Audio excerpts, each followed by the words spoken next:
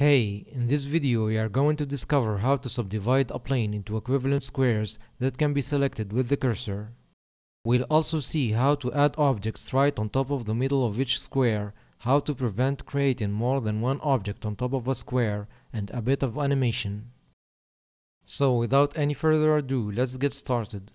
Before we jump into the code editor, let's understand the idea behind the lines of code that we are going to type. The idea is simple. First, we need to detect the position of the intersection of the cursor with the plane, and that's so simple using the raycaster class. Next, we are going to call the floor method on the position vector in order to get the largest integer less than or equal to each one of the vector components. So for example, if the cursor is at the position 1.5 on the x-axis and 2.3 on the z-axis, floor will return 1 and 2. If the cursor is at 3.9 and negative 1.3, floor will return 3 in negative 2. You get the idea. Next, we are simply going to create a one by one plane that serves as an indicator of the square the cursor is on top of and position it using the values returned by the floor method. One thing to keep in mind is that when we add or position an object in the scene, Three.js puts the center of it at the indicated coordinates and that in this case shifts the square by half of its size. To solve that, we are simply going to add half of its width and height to the values returned by the floor, and that's pretty much the main idea. As you can see, we currently have an empty scene created using this very basic template, so nothing special here. That being said, the first step we are going to do is to create a mere 20 by 20 plane.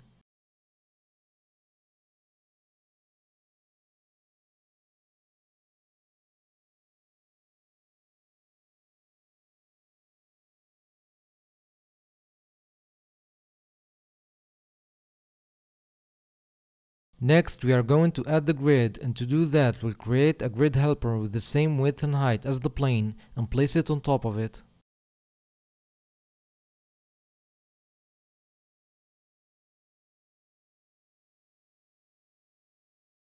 And now we can make the plane invisible by setting the visible property within its material to false. Again, that will make it invisible but still present in the scene.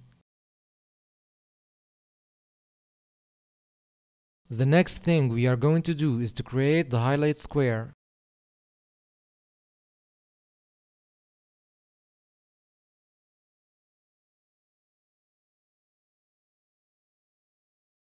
Three.js puts the center of objects at the center of the scene by default, which is not exactly what we want here.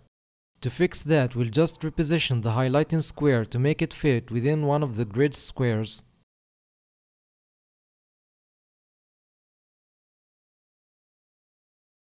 And now that we are done with the grid, we are going to create the variables needed for the raycaster. By the way, if you don't know what is a raycaster or how it works, make sure to check out my Three.js guide which includes a section dedicated to this subject. I'll leave you the link in the description below.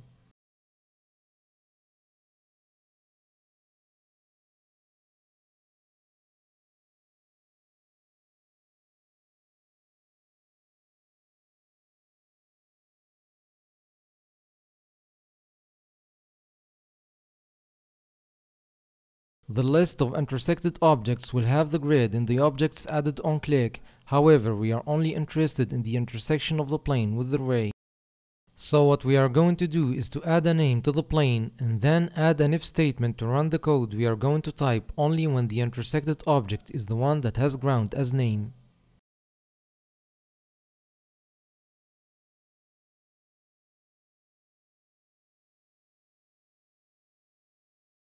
The next step is the creation of a variable that contains the calculated position where the highlight mesh must be set at.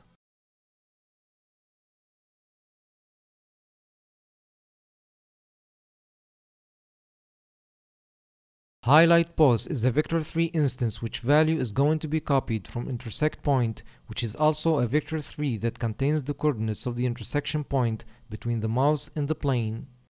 Floor will be applied on the x, y, and z components of the copied vector and finally we are calling add scalar to add 0.5 to the components of the vector returned by the floor method.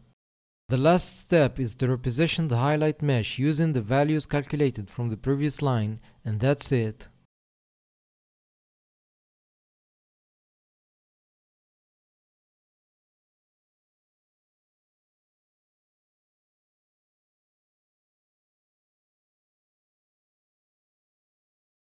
Now that we got the highlighting square working, let's use it to place objects on top of the plane with mouse clicks.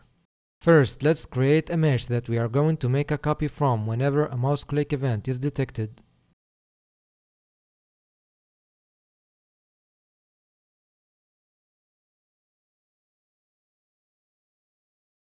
Next, of course, we need to add the event listener and within its callback function we'll loop through the intersections array to make sure that the user is clicking on the plane before placing an object.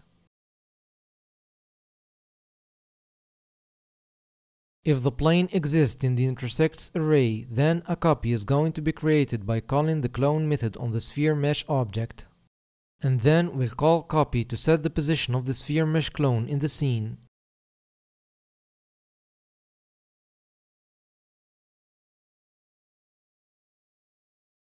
As you can see, now we are creating meshes on mouse click, yet there is a problem which is the creation of objects on top of each other. Let's log the number of objects the scene has to see if the problem persists when we make the solution.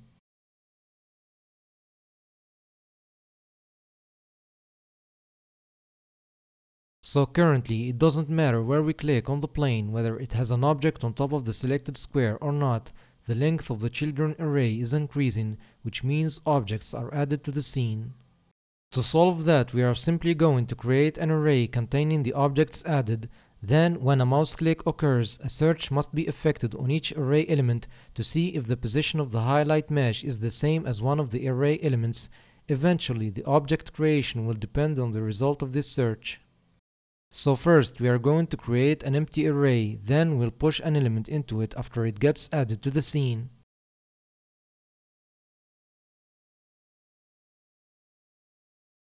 Now we'll call find to do the search within the array. The result will be true if an element has the same x and z values as the x and z values of the highlighted square.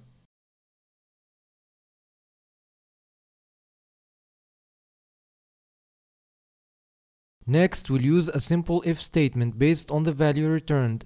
If the object exists, a clone will be created and added to the scene, else nothing happens.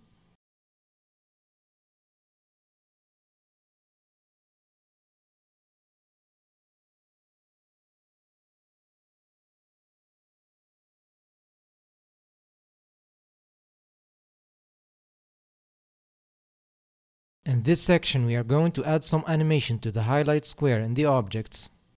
Let's start by changing the color of the highlight mesh and make it red whenever it points to a square that has already an object on top of it and that to indicate that we can't add another object at that same position. So first we'll copy this block of code which will tell us if the hovered square contains an object or not and then the color will be dependent on the result.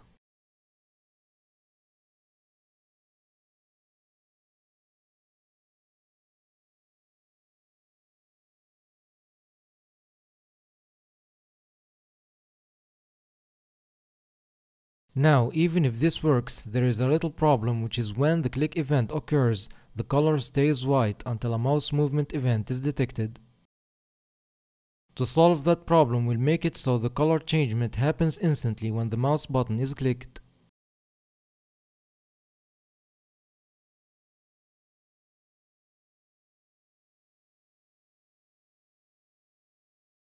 That done, now let's make the highlight square blink. To do that we are going to use a bit of math to set the value of its opacity.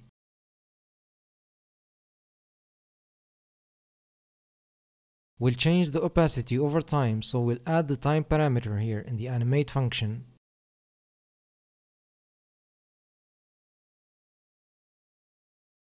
Now, if we test this out, you see that nothing has changed, and that's because we didn't activate transparency within the mesh's material, so let's do that.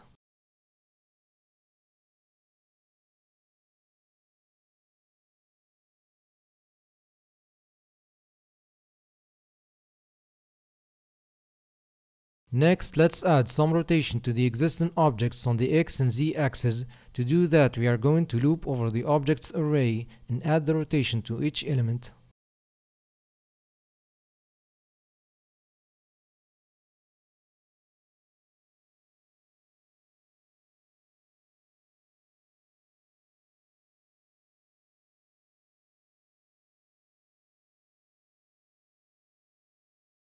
And finally, let's add a bit of bounciness to the meshes alongside the rotation.